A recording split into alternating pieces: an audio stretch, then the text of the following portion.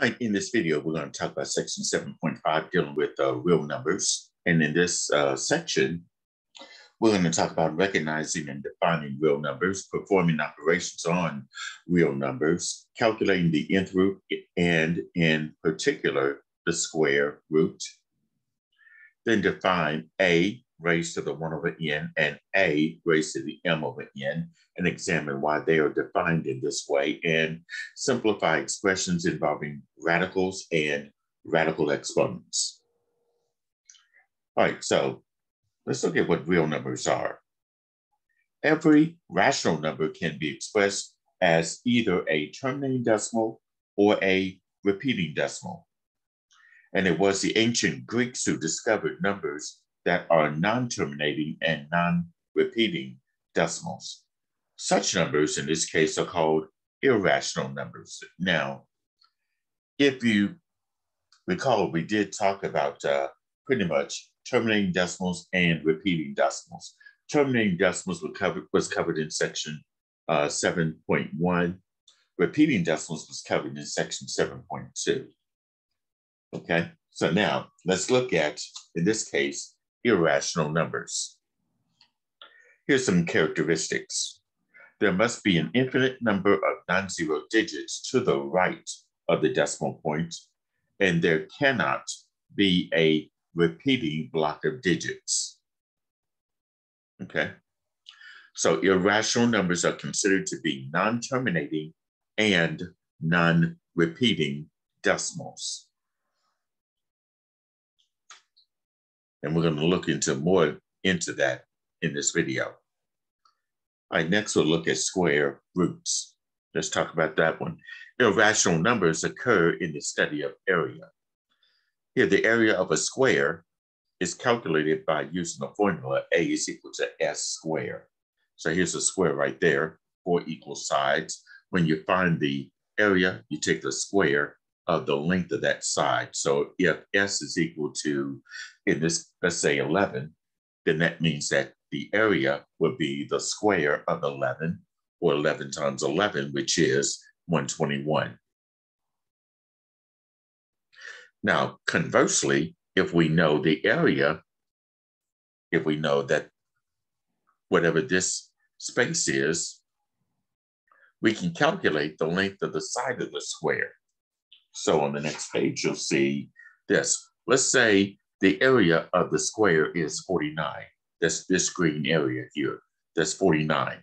The length of a side will have to be this. A is equal to S squared, which will be equal to 49. So that means S will have to be 7 or negative 7. Now, because lengths are always non-negative, the only possible solution for that would be 7. So you have to think of what number squared would give you seven. And it has to be positive because uh, lengths are never going to be negative. All right, so now let's look at uh, the definition of square root.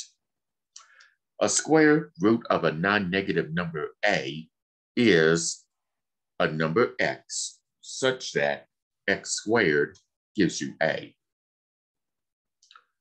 So like when we have the S, S squared is equal to 49, we have to think of what number squared gives us 49. Has to be seven. And it also can be negative seven, okay? Now, the principal square root is this. If A is any non-negative number, the principal square root of A, which is going to be denoted by this symbol, which is the radical sign and then the a, and it's understood to be the square root of a, is the non-negative number x, such that x squared gives, gives us a. So we're only looking for the non-negative number when we're dealing with the principal square root. Here's some examples. Let's say I have the square root, find the following. The square roots of 144.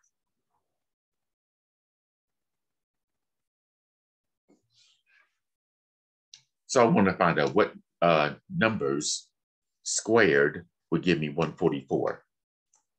And in this case, I know that 12 times 12, 12 squared gives me 144.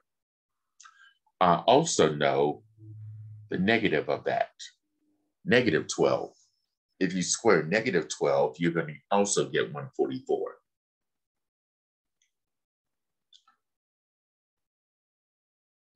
But let's say I just want the uh, principal square root of 144. So here I'm looking for the non-negative number so that I would get 144 when I square it. It has to be only positive 12.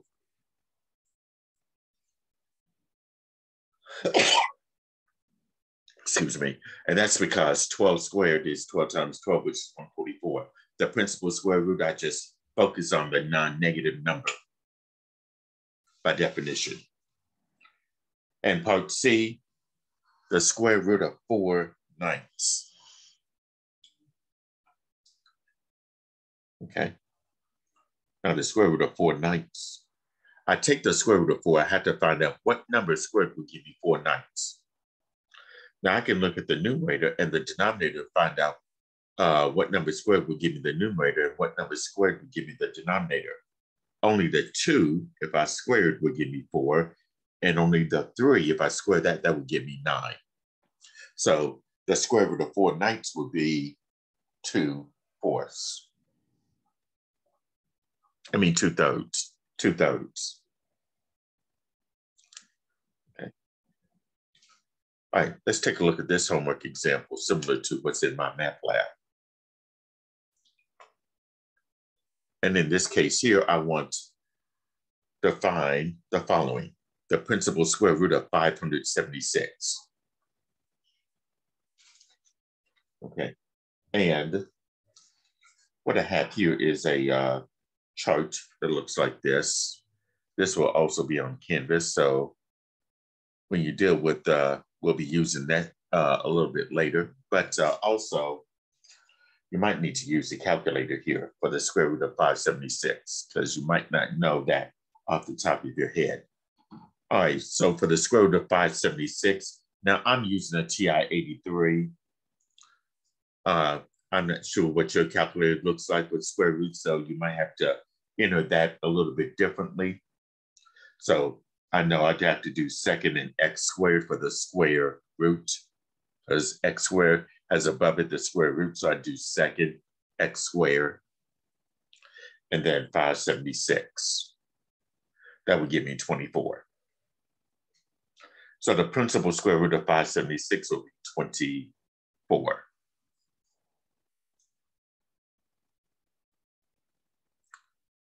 And then part B, the square root of 169. Okay. The square root of 169 of course, if you want to use this table, that's fine. Look under n squared, find the number 169 and look to the left. That will give you the square root of 169, which is in this case, 13.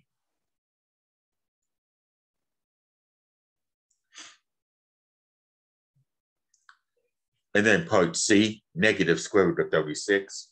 Well, we know it's going to be negative. And then what number squared would give you 36? It will have to be 6. So negative square root of 36 will be negative 6.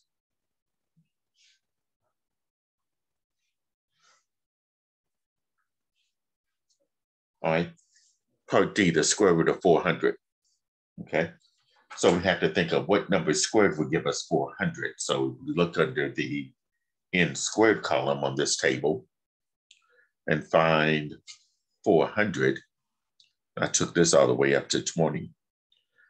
400, look to the left, you'll see it's 20. So that means that the square root of 400 is 20.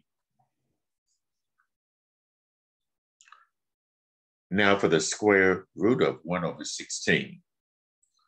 Well, let's think about this. What number squared will give you 1? Will be 1. And what number times itself will give you 16? Or what number squared will give you 16? It will be four. So the square root of 1 16th will be 1 fourth. Now for the square root of 0.0004, probably to need to use calculator for this one.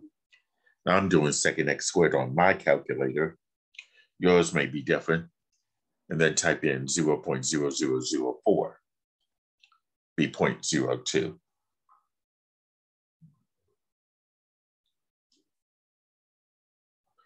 Okay. So that's how we find square roots here. Okay. And keep in mind that uh, your calculator is different, maybe different from mine. So make sure that you're familiar with what your calculator does and how, how it computes the square root of numbers. All right, let's look at other roots. This is on the next page. The nth root of x is denoted by this notation. The n is going to be the index of this radical, and then your x is going to be underneath the radical. That's how we denote the nth root of x. If n is even and x is positive, then the principal nth root of x is going to be positive. That means that this index here has to be even, x has to be positive. Okay. Now, if n is even, if that index n is even and x is negative, then the nth root of x is not going to be a real number. So let's take, for example, the square root of negative 4. That's not going to give you a real number because we can't take the square root of a negative number.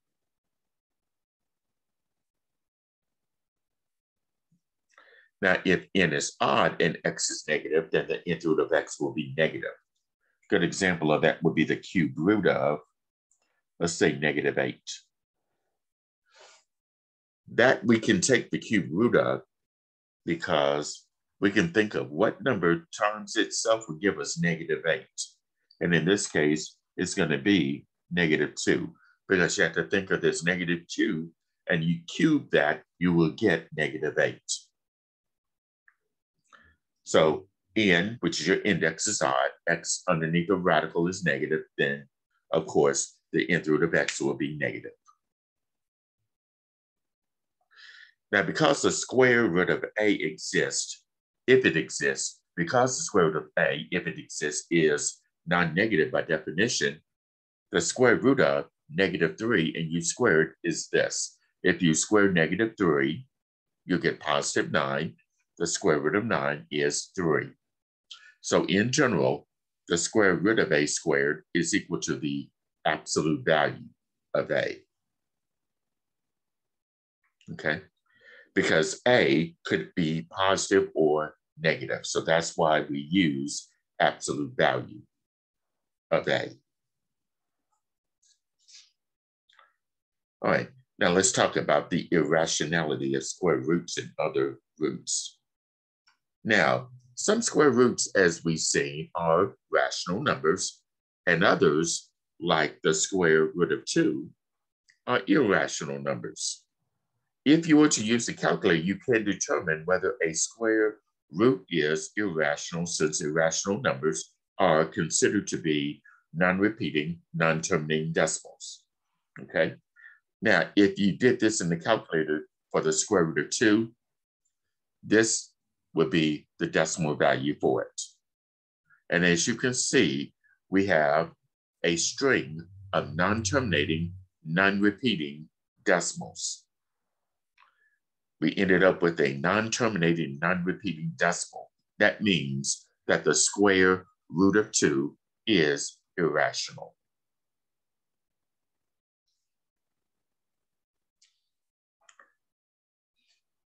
All right, now let's look at the systems of the system of real numbers. The set of real numbers, which is going to be capital letter R, that's going to be the union of the set of rational numbers and the set of irrational numbers. The decimal form of any real number is either going to be terminating, repeating, or non-repeating. Each, every integer is a rational number as well as a real number. And every rational number is a real number, but not every real number is rational. Okay. Like the square root of two. The square root of two is a real number but it's not rational. It's irrational. Okay, so here's what the uh, here's what this illustration looks like. You got real numbers. The set of all x such that x is a decimal. It's either going to be irrational, which is going to be the set of non-terminating, non-repeating decimals, or it's going to be rational, where it is either repeating decimal or terminating decimal. And from rational numbers, we have integers, which are positive and negative numbers and zero, whole numbers, which starts at zero, natural numbers, which starts at one. Okay, so now on the next page is a couple of examples where we're going to determine which of the following, if any, represent irrational numbers. And it's probably best to use a calculator to find out whether they're rational or irrational, like the square root of 42. Right, second x squared, I'm doing this on my TI 80, 84 plus. Square root of 42, knows you have a string of non-repeating, non-terminating numbers. This is a non-terminating, non-repeating decimal here, as you can see. So this would be irrational.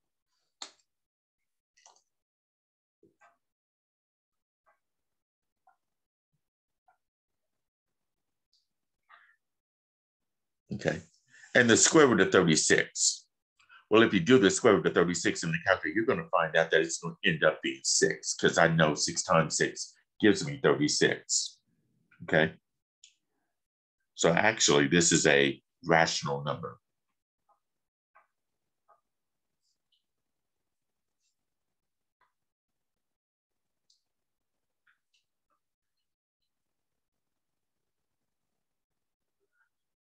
And the square root of 324. Let's uh, second. Let's do square root of 324. You're going to end up getting 18. And 18 is a rational number, by the way.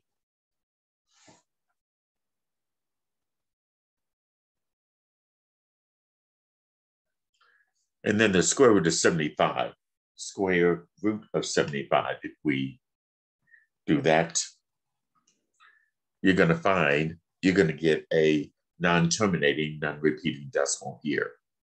So the square root of 75 is irrational.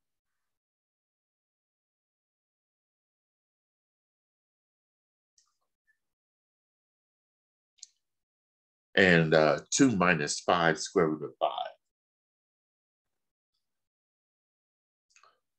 All right, let's see about this one right here, 2 minus 5 square root of 5.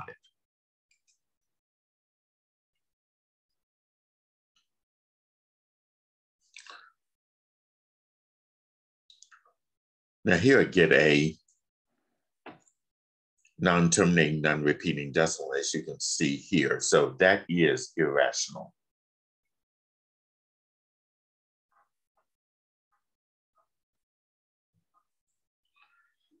And square root of five divided by two. Square root of five divided by two.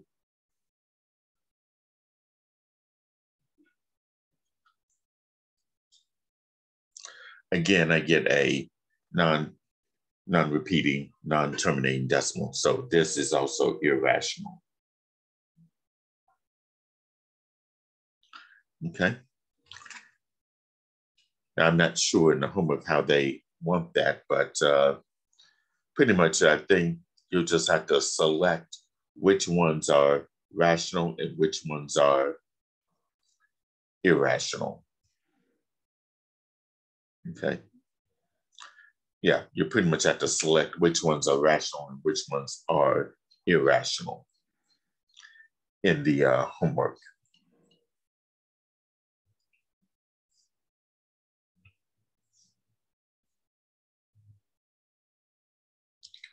Okay. All right, let's look at this next homework example.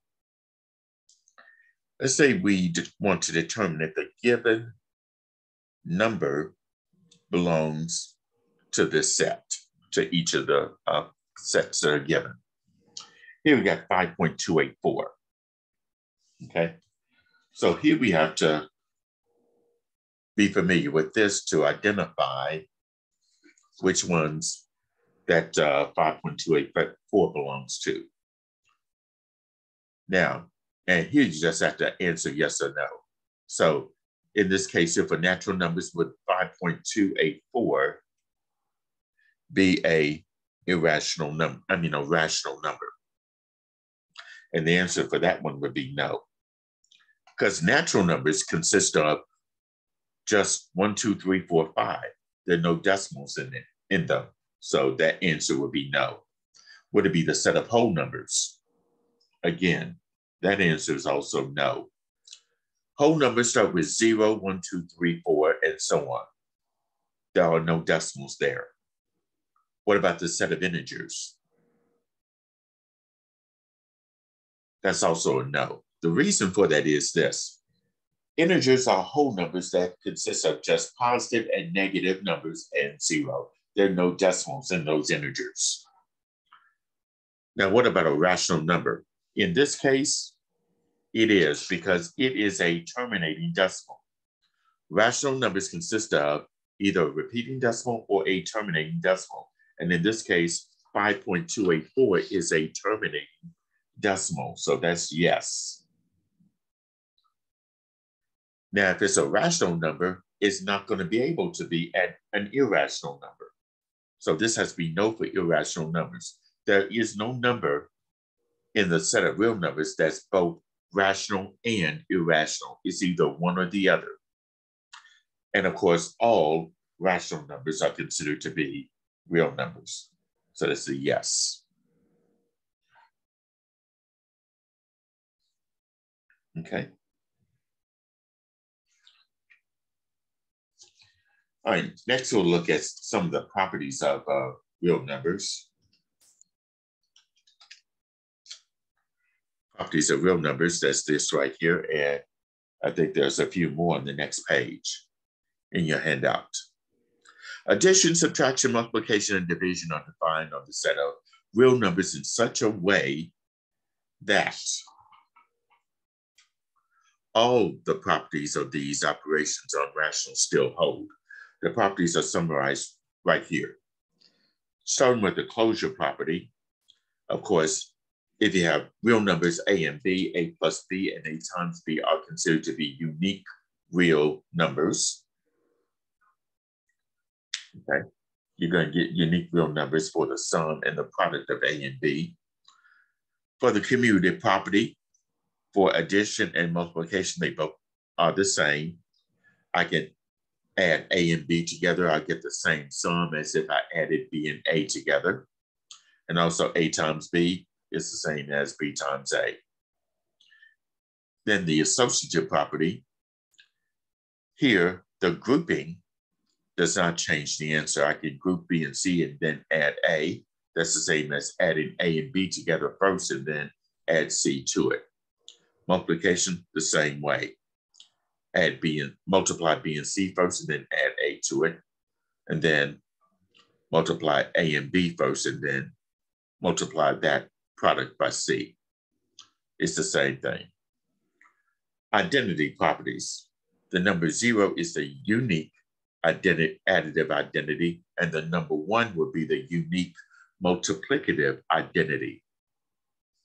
So that means zero plus any number is that number, and then for the one, one times any number will be that same number.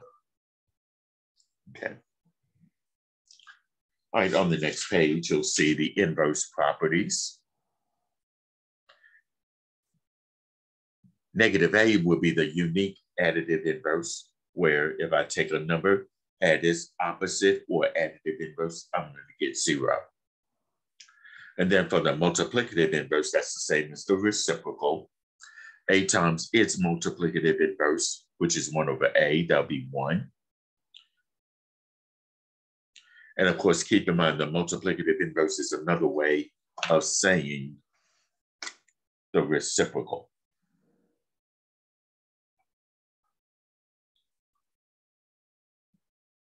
Okay. And we did talk about the reciprocal back in chapter six. All right, now the distributive property of multiplication over addition and subtraction. These are all the same for real numbers that we talked about for whole numbers here. A times the quantity B plus C, we just distribute the A over the B and the C by multiplying. And also the same holds true for A times the quantity B minus C. We uh, distribute the A over the B minus C by multiplying to get this.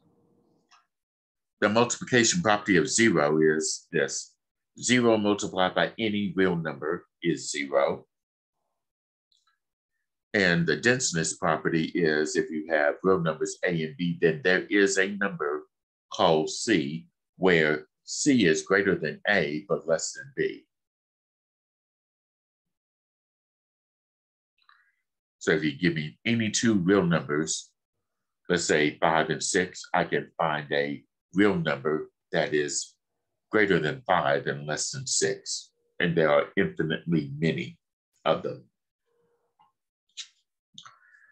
All right, next we'll talk about ordering real numbers. To order real numbers, we consider where the decimal form of the real number might lie on a number line, or we compare them using place value as we ordered decimals. So in this example here,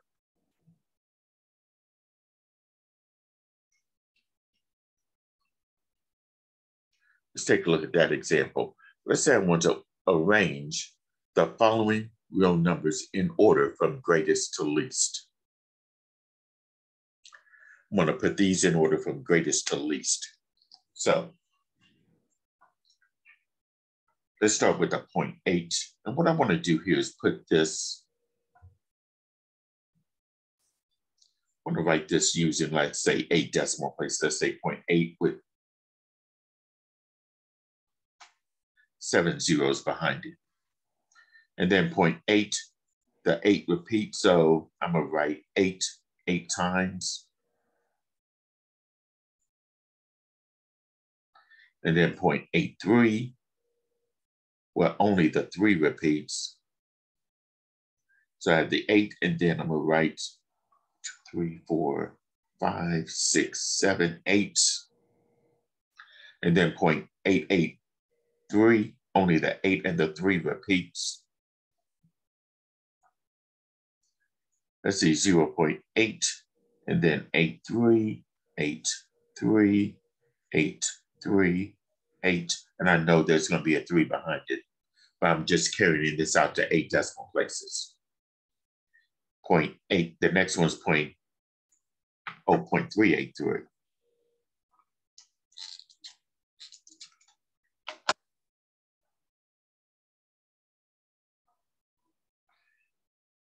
So 0 point, and of course the three and the eight and the three repeats, so be 0.3, 8, 3, 3, 8, 3, 3, 8, 3, and 9.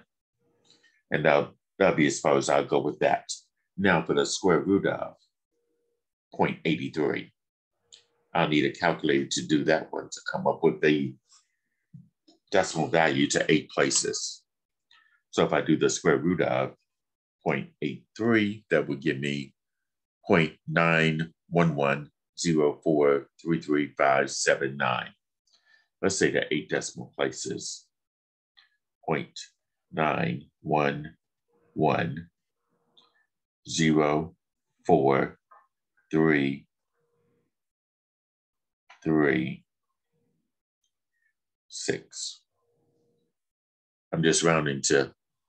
eight decimal places. Now let's compare those and put these in order from greatest to least, largest to the smallest. Well, let's look at each place value position. Well, the zero in the ones place is the same, but when we get to the tens place, we can obviously see that the nine is bigger than the three and all these other eights. So in this case, the square root of 83, I mean the square root of 0.83 would be the biggest or the greatest. So that has to go first.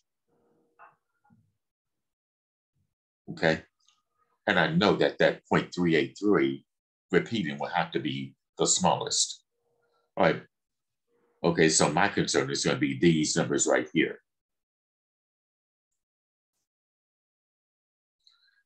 So that's first. I mean, that's the same. Now let's look here.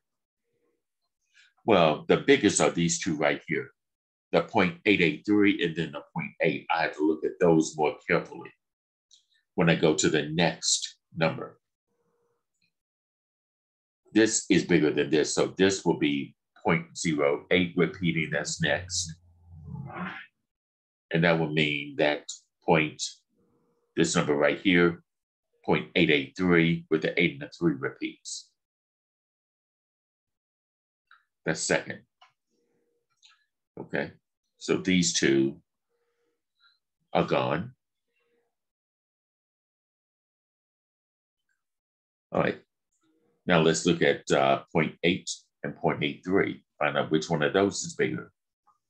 Well, these are the same. Here they're different. Here this three is bigger than zero. So that means that 0.83 with the, only the three repeats is next. And then 0.8 is next. And obviously 0.383 repeating is last.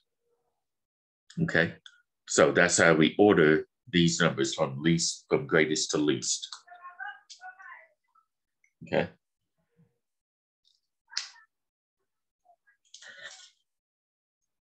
All right, on the next page deals with radicals and rational exponents. Radicals and rational exponents. Now here scientific calculators do have the y to the x key, which will find, which we can use to find the values of expressions like four to the one half power and 3.41 to the two thirds power. Now, what does four to the one half power mean? If we extend the properties of exponents that were developed for integer exponents, it would be this. Four to the one half times four to the one half, if we multiply powers of the same base, that would mean we can bring over the base and then add the exponents. So it'd be four to the one half plus one half, which would be four to the first power. And also, we can do this. Four to the one half would be this. We can square that. Since four to the one half is used as a factor twice, we can square four to the one half raised to the second power raising the power to a power, we can multiply one half times two. Half of two is one, so be four, four to the first power, which is four. Consequently, four to the one half must be a square root of four. So to obtain a unique value, it is defined to be the principal square root. That is, four to the one half power would be written as the square root of four. So in general, if x is a non-negative real number, then x to the one half is the same as the square root of x. x to the one half in radical form is going to be the square root of x. Okay. All right, now let's look at the definition of real number raised to a rational exponent. And that's this if x is a real number, n is a positive integer, and m is an integer, then we have x to the 1 over n, which will be equal to the nth root of x, where the nth root of x is meaningful. Okay. Okay, it has to be meaningful, where let's just say we can't take the square root of a negative number, or we can't take any even root of a negative number. That's undefined. And also x raised to the m over n power is the same in radical form as the nth root of x to the m. And of course, n, the nth root of x to the m has to be meaningful as well.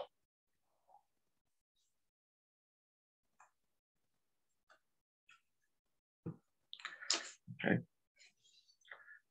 All right, now let's look at more properties on exponents. It can be shown that the properties of integer exponents also hold for rational exponents. These properties are equivalent to the corresponding properties of radicals if the expressions involving radicals are meaningful.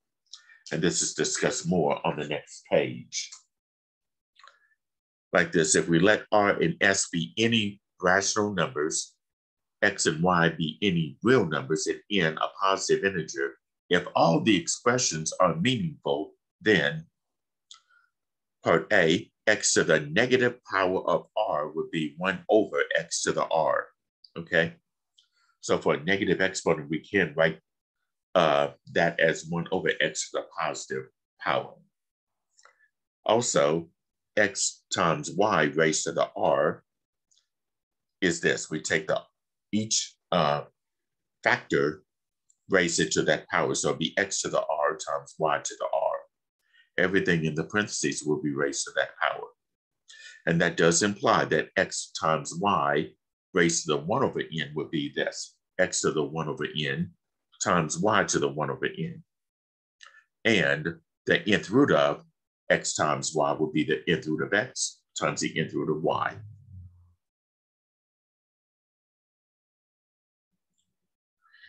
Now part C is this x over y raised to the r. That means the numerator and the denominator will be raised to the power of r. So be x to the r divided by y to the r.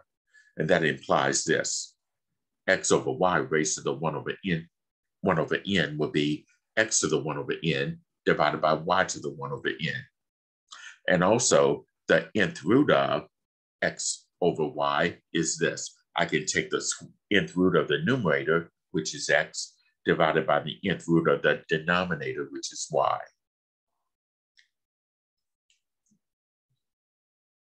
And then part D would be x to the r raised to the x. I'm raising a power to a power. That means I can multiply the exponents. That'll be x to the r times s. s. That's going to imply that x to the 1 over n raised to the power of p.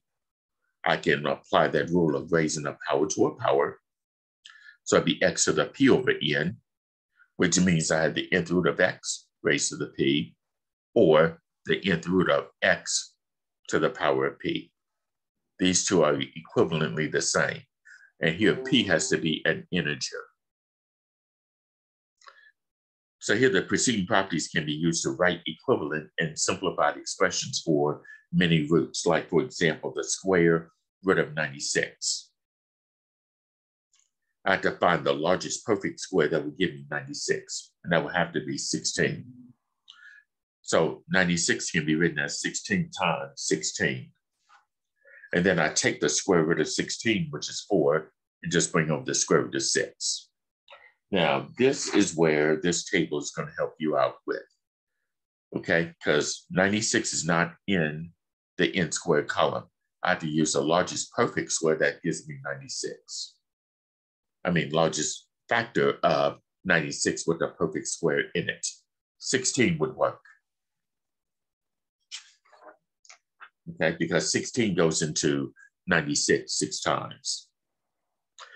Also, if I had the cube root of 54, this is where I use n cube and find the largest perfect cube that goes into uh, 54.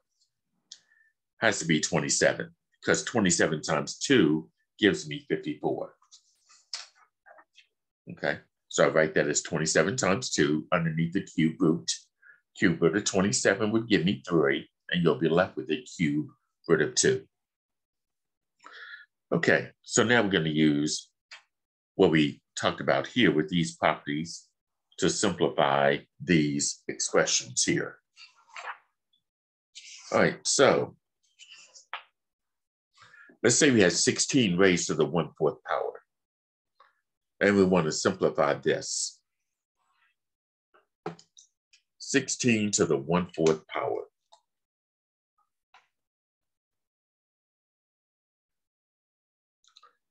Well, 16 to the 1 4th, um, let's think about this for a moment. If I want to write that in radical form, That 4 will be the index of this radical.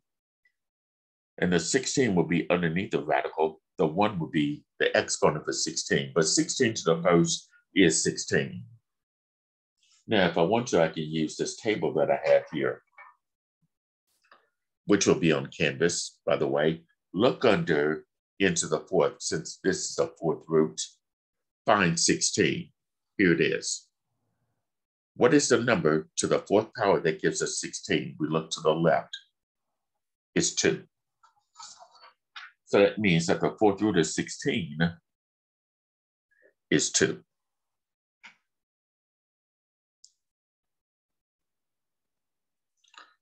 Now, part B, we got 16 to the 5 fourths power. 16 raised to the 5 fourth power. Let's do this.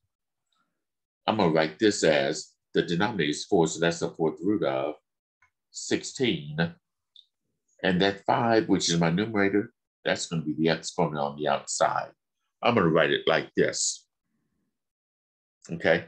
Now, I already know what the fourth root of 16 is. We found that out in part A. That's 2. And now I'm going to do 2 to the fifth. So I need to find out, well, 2 to the fifth will be 2 times 2 times 2 times 2 times 2. Pretty much if you do this on the calculator, you'll do, you'll get the answer of 32. So 16 to the 5 fourths power would be 32.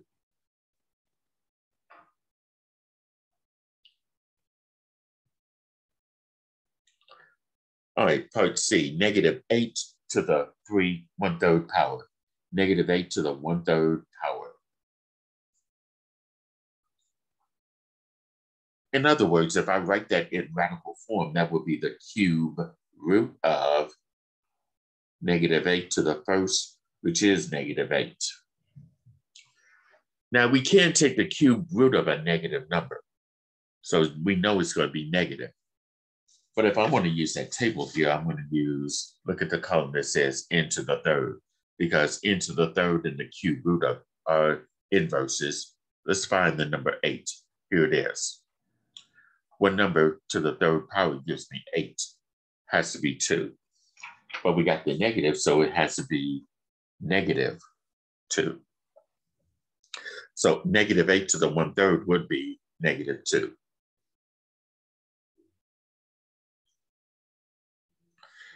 All right, part D, 125 raised to the negative four thirds power.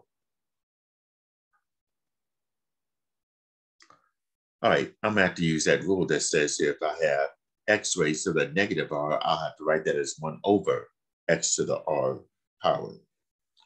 So that means I'm gonna write this as one over 125 to the four thirds power. One over 125 to the four thirds power.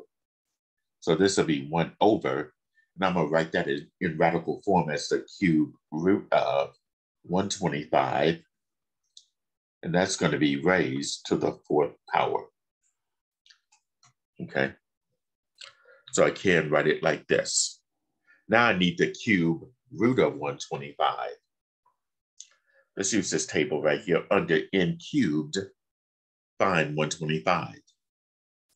And what number cubed gives us 125? Let's go to the left. That's going to be 5.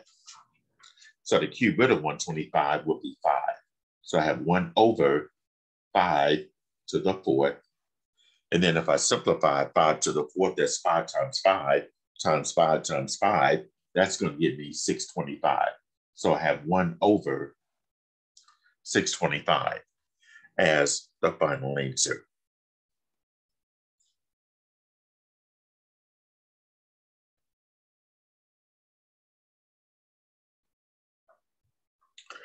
Now part E, negative 16 to the 3 to the 1 fourth power.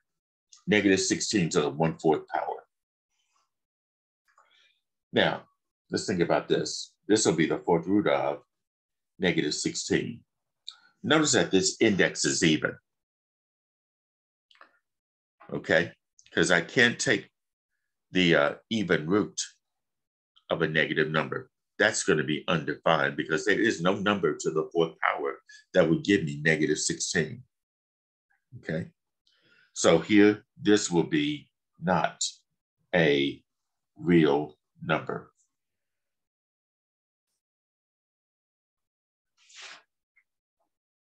Just like I can't take the square root of negative 16, that would be undefined.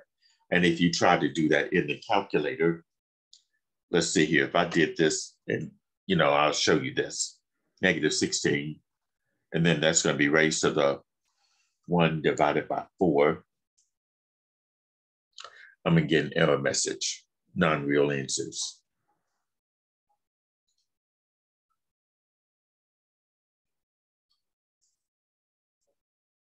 So negative 16 to the three one fourth power is not going to give you a real number. All right, let's look at this example here. Let's say we want the square root of 28, and we're going to write that square root in the form of a times the square root of b, where a and b are integers and b has the least possible value. Now, square root of 28, as you can see, is not a perfect square. Because if you look at this table of squares, you're going to see, I mean, table of powers, I should say, you're not going to find 28 anywhere here.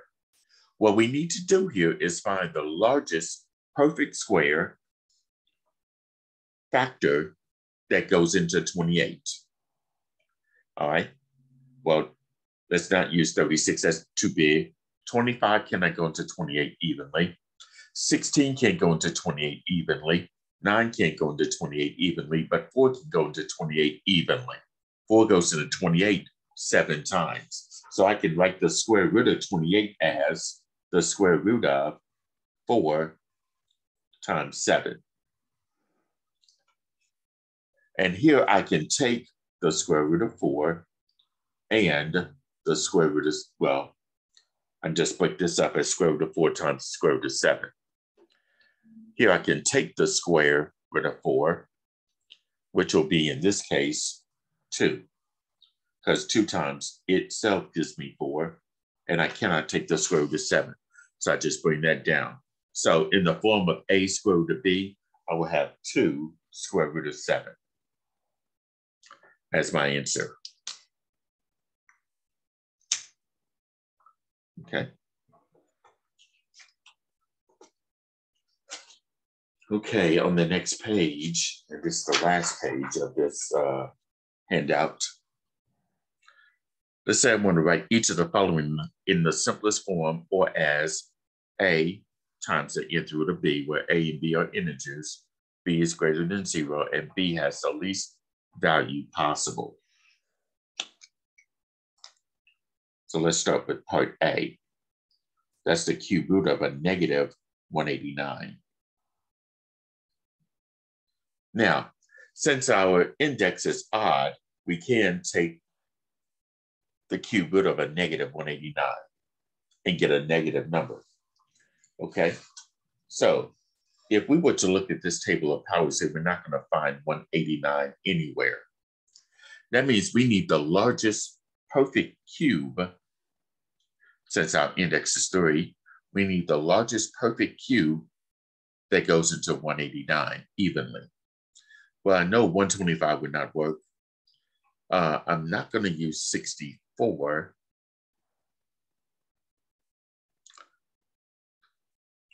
Let's see. Can 27 go into 189? Yes, it can. Yeah. Let's use 27. 27 goes into that negative 189 seven times. So in this case here, I'm gonna have the cube root of let's say negative 27 times 7.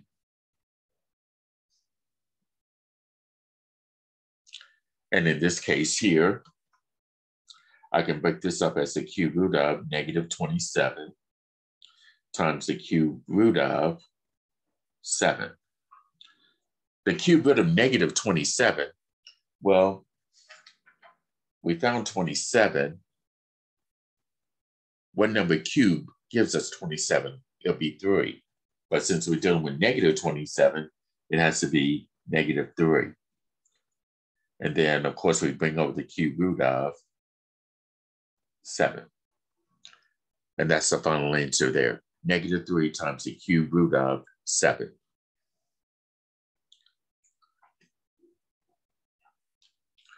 All right, part B is the fifth root of 486. The fifth root of 486. All right, so now let's go back to this table right here. Here I have up to n to the fifth in this case. So we need the largest uh, number to the fifth power or a perfect number for the to the fifth that goes into 486. Well, 243 won't work. Let's try 32. I'm going to divide 486 by 32.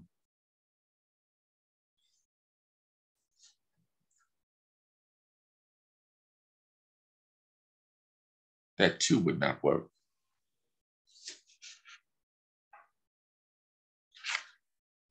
Fifth root of 486.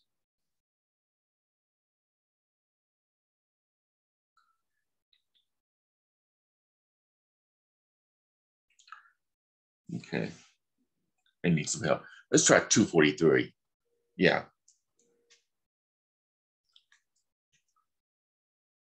Yeah, that goes, yeah, 243 goes to the 486 two times. So let's use that, that 243 right here.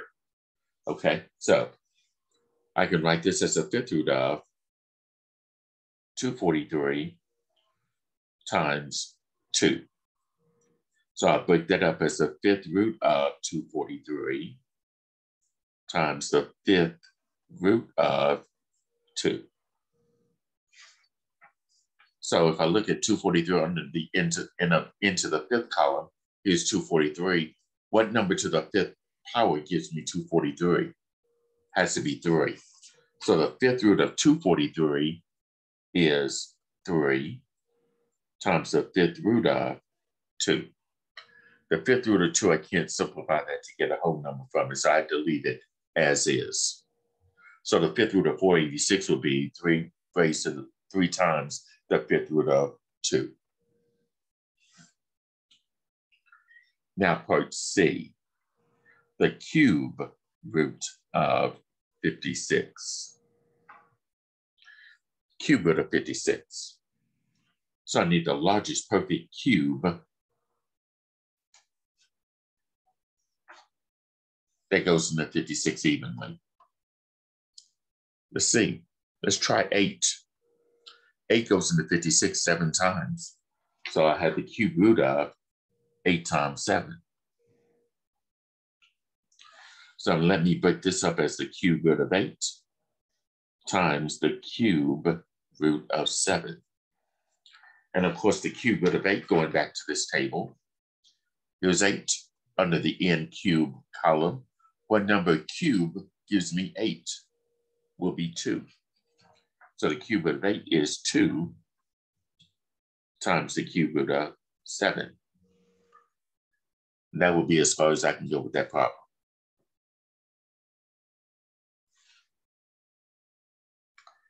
And finally, part D is the fifth root of a negative 1024.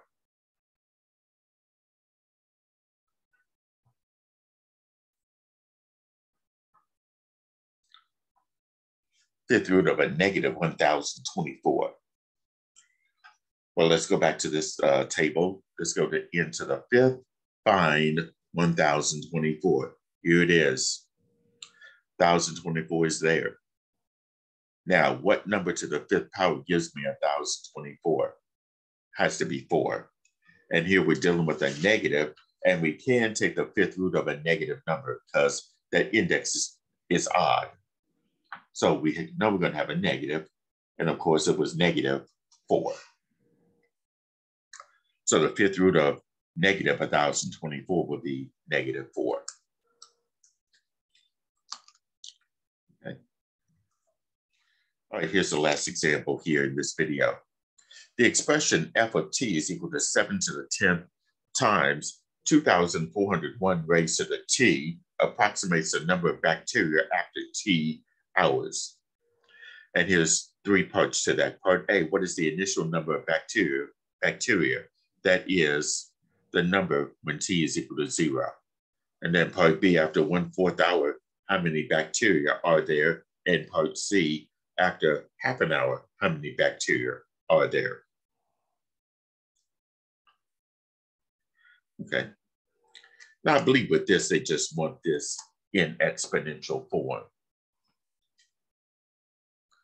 So in part A, we'll then T equal to zero. So that means f of zero would be seven to the 10th times 240, 2,401 times t to the zero power. I'm substituting the t with zero. Now, 2004 to the zero power, any non-zero number to a power of zero is automatically going to be one. So be seven to the 10th times one, which will be seven to the 10th. Okay, that's what they want as the final answer right here, seven to the 10th power.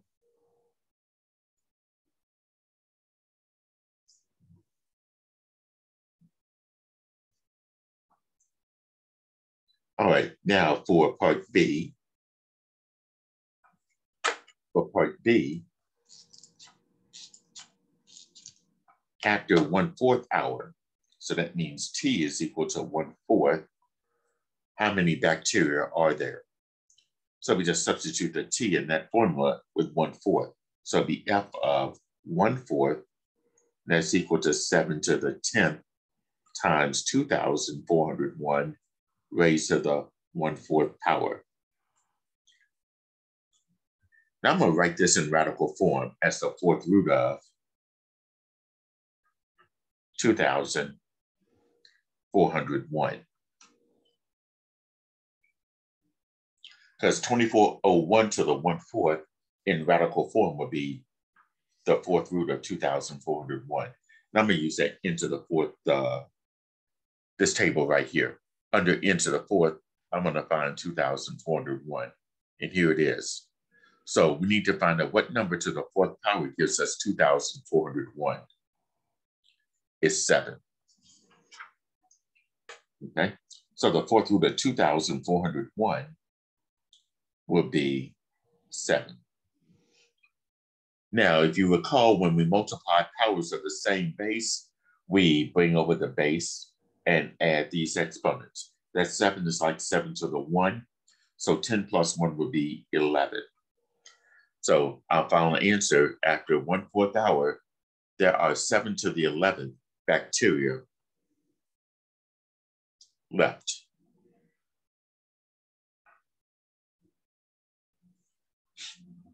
Now part C, after one half hour, so T is gonna be one half how many bacteria are there?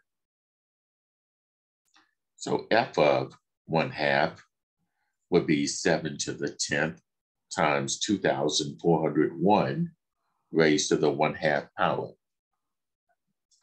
Well, 2401 to the one half power is the same as saying the square root of 2,401. So I'm bringing over the 7 to the 10th times 2,401.